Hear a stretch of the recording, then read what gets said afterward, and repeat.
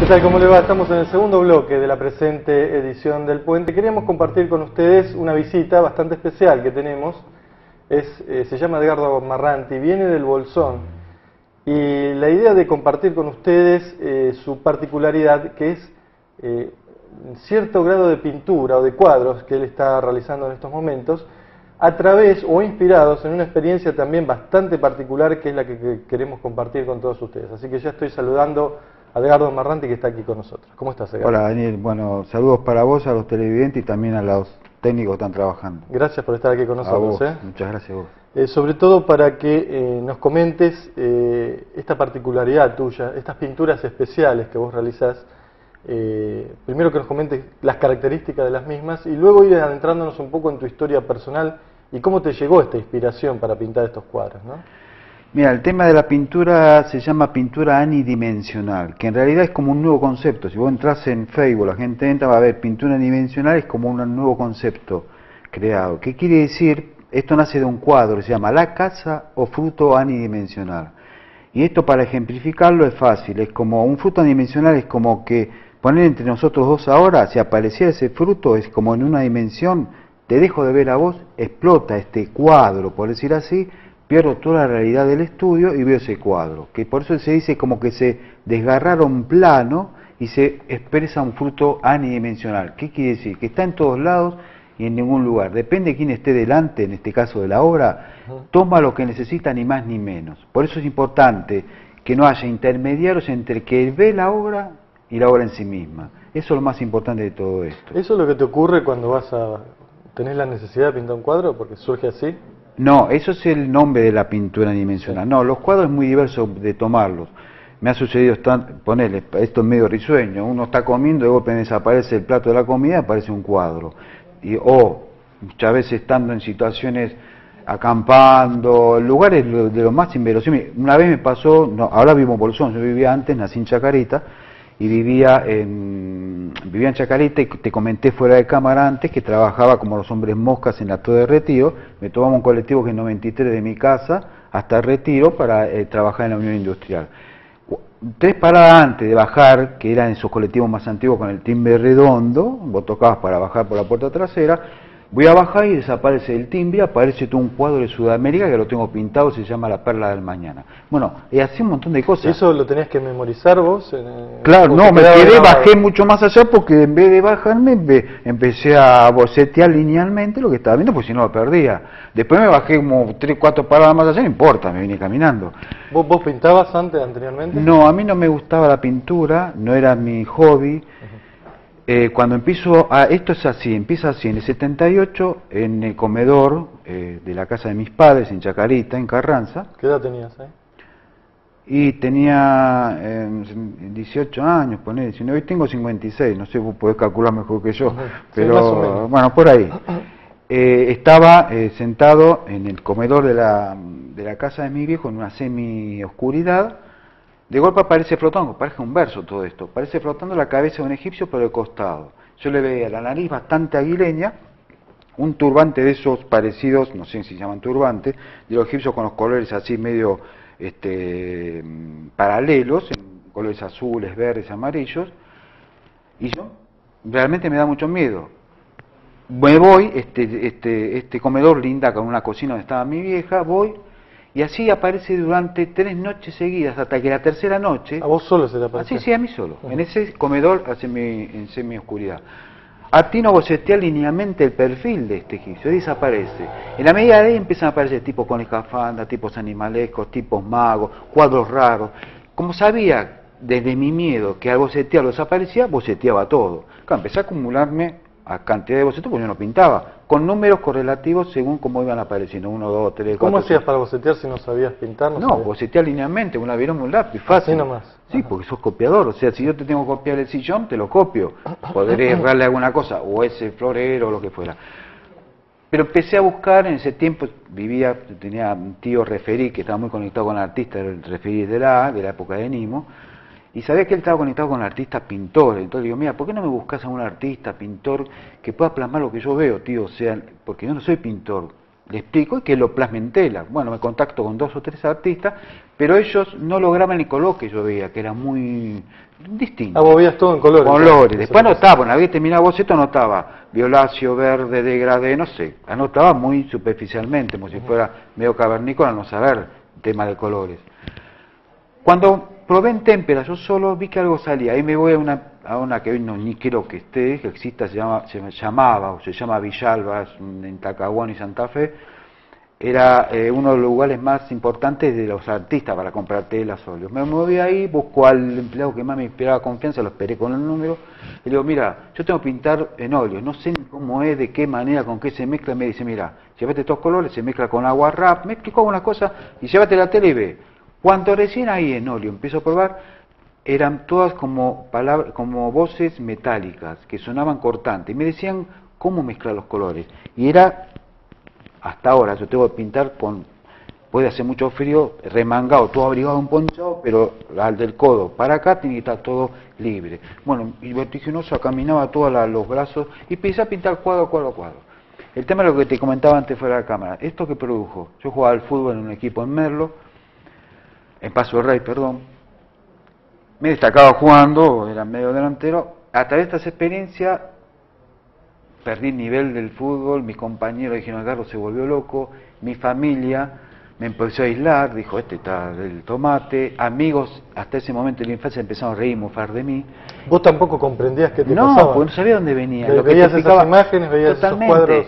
Hasta que sí, ahí viene lo otro, te, termino con esto, o sea, de ahí que me volví militante, te expliqué que mi, mi, lugar era la Unión, el acto de retiro, pintaba, hasta que me empecé a sentir mal conmigo, porque digo, mis amigos se empiezan a mofar, mi, mi familia empezó a echar, o sea, capaz que tiene razón, y, bueno, capaz estoy, estoy loco, loco capaz. estoy loco. ¿Qué hago? Le escribo una carta muy profusa a Pedro Romagnio, que yo ya había hecho con él un curso de ciencia extraterrestre en La Salle.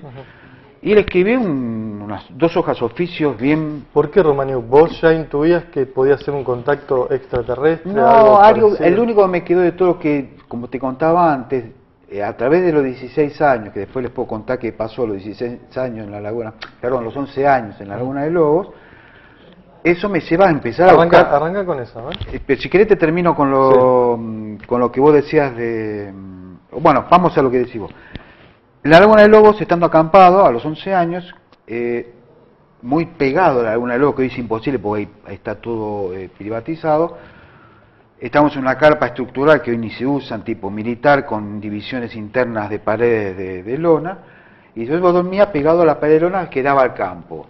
Eh, era una noche muy estrellada, me voy a acostar pegado a la pared de lona, de golpe desaparece la pared de lona, veo el campo otra vez a caballos pastando, el cielo muy estrellado, de golpe hay una estrella, que empieza como a acercarse, acercarse, a tirar, tirar, y eso que era una estrella de golpe se asienta a unos 300, 500 metros donde estaba la carpa, y a mí me da que es un hecho real porque cuando esto se asienta, se apoya, los caballos salen espantados y se siente el trepidar de los caballos, de los cascos retumba en la base de la, de la carpa que estábamos. Esto que se apoya él es un plato invertido que largaba como hervía, largaba como un humo, una nube. Vos lo estabas viendo dentro de la carpa. Claro, o sea que no existía la pared, por eso sí. es todo muy extraño.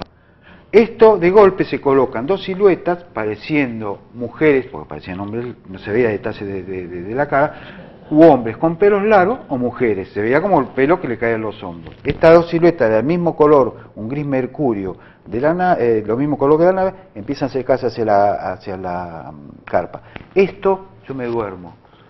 Este es el hecho. Cuando se venían acercando te dormiste. Si alguien hiciera una regresión que me quisieron hacer, pero yo nunca lo permití, hay que ver qué pasó del otro lado. No. Eso a mí es que me lleva a ir a conectarme con Pedro, con Serpa, con Las Heras, con Ananda Marga, una secta hindú, bueno, con varios... Este, Esa fue tu primera experiencia en este sentido. Fue mi primera años. experiencia más consciente. Después chiquitito también, si quieren les cuento que fue desde los dos años y medio de edad hasta los cuatro años y medio de edad. Ajá. Pero voy a esto de Pedro, les quedo, lo único que me quedo de todos esos contactos que tuve, como confianza fue Pedro.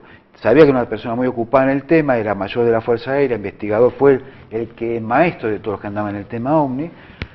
Le escribo esto profusamente a una casilla de correo, le, sabiendo que estaba muy ocupado, le digo, mire, si usted cree que yo estoy loco, por favor póngame sí, nada más, no necesita otra cosa. Si no, póngame no. Él no solo que no me contesta eso, sino me manda una carta, me cita en la casa, ahí conozco que él vivía en Rafael Castillo, me dice, contame de vuelta todo lo que me dijiste en la carta, quiero saber hasta dónde es verdad hasta dónde no. Bueno, una vez que termino ahí, él me dice, que en ese momento era secreto, tengo lugar para vos, no tenés que tener miedo, tenés que ir solo y acampar por lo menos 20 días. Una vez que lo resuelvas, charlar con tus padres, venís y yo te voy a dar una carta cerrada ahí recién ahí te voy a decir dónde es el lugar. Este lugar resulta ser la estancia La Aurora de Salto Uruguayo, o se lo conocía como el Omnidromo de Salto Uruguayo. Sí, muy famoso bueno, hoy por la cantidad de ovnis que... Hoy olvidaste.